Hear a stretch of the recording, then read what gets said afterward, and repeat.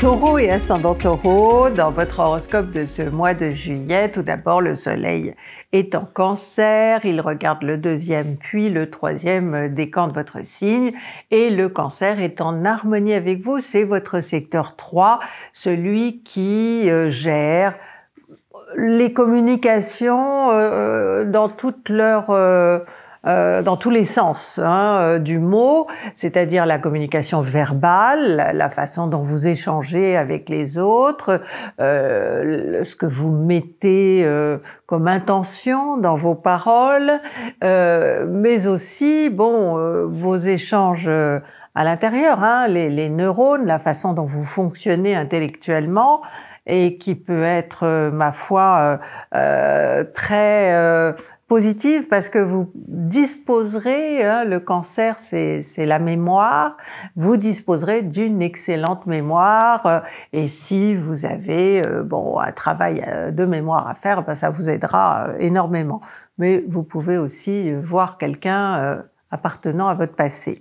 Après le, le 22, eh bien le, le, soleil sera en lion. C'est votre secteur de la famille, c'est votre secteur aussi de l'image que vous avez de vous-même.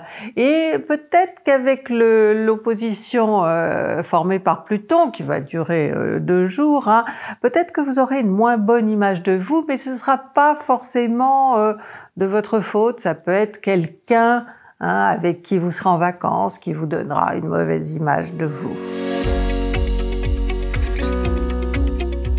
Du côté des activités, Mars est encore dans votre signe, dans la deuxième partie du signe, jusqu'au 20, et elle est euh, évidemment euh, en conjonction avec Uranus. Donc ça va être une période où vous allez peut-être souvent changer d'avis ou être obligé de, de changer des plans que vous avez faits pour des vacances. Alors, est-ce que ça va être pour mieux? Probablement. Hein Et puis, bon, on ne sait pas que euh, tout ce qui va se passer, les Jeux Olympiques, tout ça, vous allez surfer finalement entre les les obstacles que la société vous mettra. Ça viendra pas de vous, hein. Euh, bon, à moins que vous soyez en pleine période de remise en question personnelle, hein, ça peut être ça aussi. Mais je pense que ce sont plutôt, euh, si vous voulez, que vous aurez plutôt à, à sauter euh, des obstacles qu'on qu'on mettra sur votre route. Hein. Ce sera pas, ça viendra pas de vous.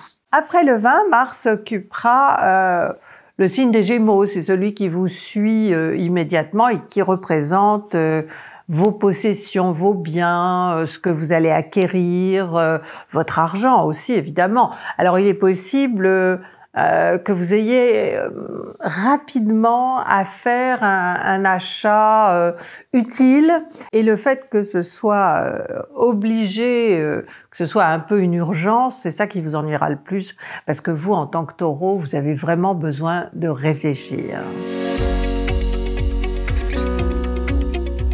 Du côté des amours, eh bien, nous avons d'abord euh, jusqu'au 11 une Vénus en cancer assez rapide, hein, il faut le dire. Elle va euh, euh, concerner le deuxième et le troisième décan de votre signe et bon, elle vous verra tout tendre, tout préoccupé du bien-être de ceux qui vous entourent et qui vous renverront bien évidemment de l'affection, hein, ce dont vous avez besoin. avec une Vénus en cancer, on a vraiment besoin euh, de marques euh, visibles d'affection.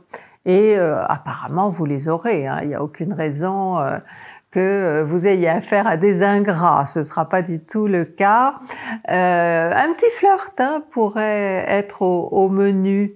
Après le 11, eh bien, Vénus rentrera elle aussi en Lion et formera le même aspect, c'est-à-dire une opposition avec Pluton.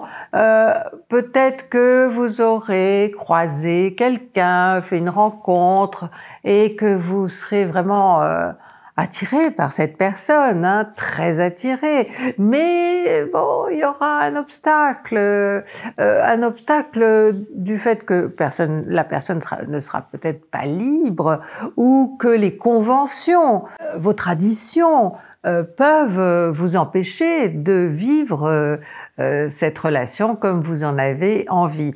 Maintenant, si vous êtes en couple, il est possible qu'il y ait une remise en question ou que votre partenaire soit particulièrement jaloux, qu'il doute, il ou elle hein, d'ailleurs, doute de vous, de vos sentiments.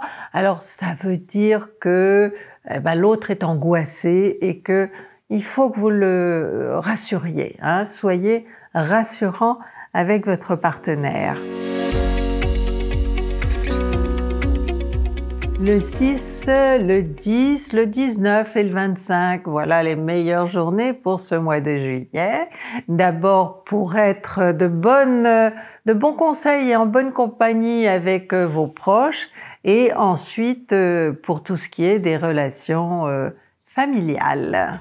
J'espère que cette vidéo vous a plu, vous vous abonnez, vous likez, et puis si vous voulez plus d'astrologie, bien vous nous retrouvez sur nos réseaux sociaux, dans les lives du mardi et du vendredi, ou alors euh, évidemment sur celastro.com.